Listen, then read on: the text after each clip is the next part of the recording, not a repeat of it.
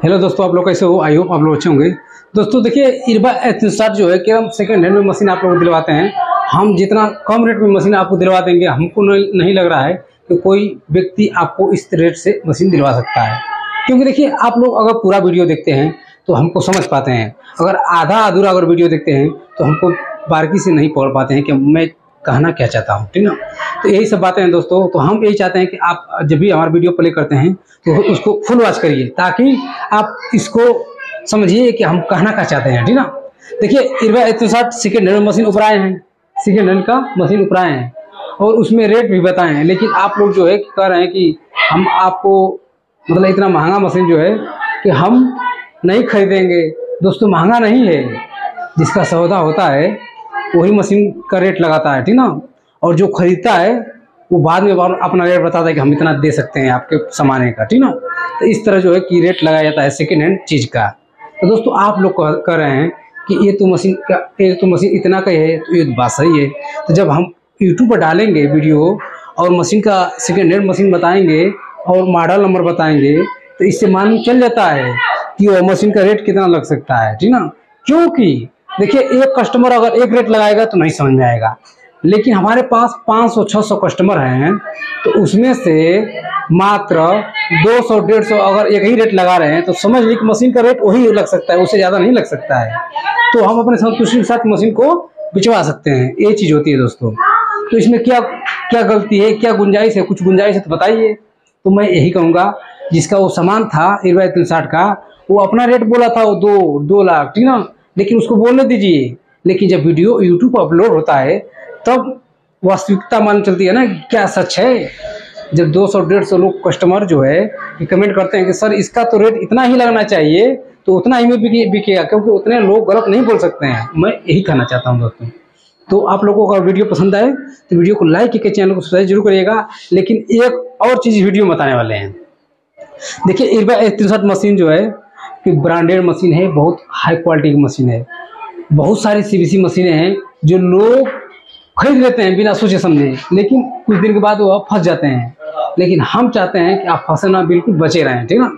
देखिए, मैं एक चीज़ और करना चाहता हूँ। यह इरवायत साठ मशीन है, इसमें दो मात्र केमिकल लगते हैं, आप लोग जानते हैं। डायलुएंट और इसके अंदर एक लाइज है, पाँच सौ का वो लगता है, ठीक ना? दो केमिकल लगते हैं।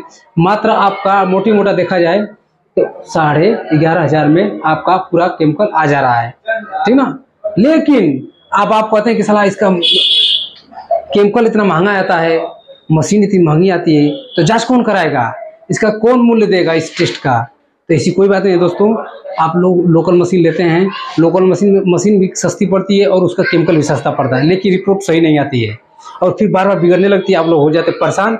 एक बार धोखा खाते हैं, फिर कहते हैं सला गलती कर दिए। पहले ही महँगी मशीन लेना चाहिए, फिर बाई तीन सौ साठ। जो एक बार एक बार तीन सौ साठ ले लेता है, वो दस साल, पंद्रह साल एकदम एकदम सजाज पिजाज लगाता है, पर डे हमसे कोई दिक्कत नहीं। दस साल, पंद्रह साल, ये मायने रखता है। इसमें बहुत सारे लोग जो है, बहुत सारा पैसा अर्न कर लेते हैं।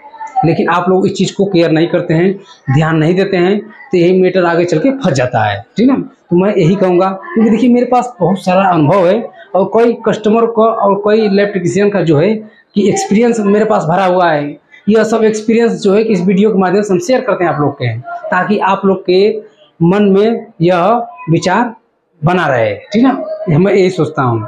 देखिए बहुत सारे इलेक्ट्रिशियन ऐसे हैं कि नए नए होते हैं सोचते हैं कि सस्ते में मशीन लैब का पूरा सेटअप जो है, सस्ते में निपट जाए। लेकिन लास्ट में क्या होता है? बुरा उसका परिणाम मिलता है, बुरा परिणाम, ठीक ना? तो हम चाहते नहीं कि इस तरह का आप लोग को दिक्कतें हो, ठीक ना?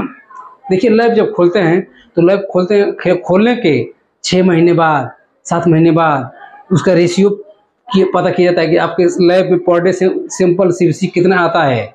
उसके बाद जो है कि आप इरवा साठ मशीन लीजिए। या कोई हेमेटोलॉजी मशीन लीजिए, वो तो आपके मन के ऊपर है कौन सा मशीन आप चूज़ कर रहे हैं, कौन सी मशीन आपको लेना है।